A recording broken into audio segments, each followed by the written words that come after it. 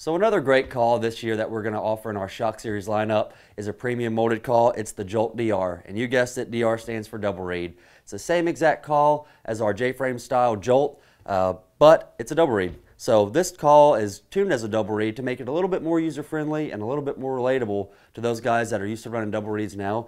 But this call's got hold, it's a great mid-range call, it'll kind of do everything. So on the bottom, it can really get some finesse calling in, but it cleans up nice on top and you can really push this call.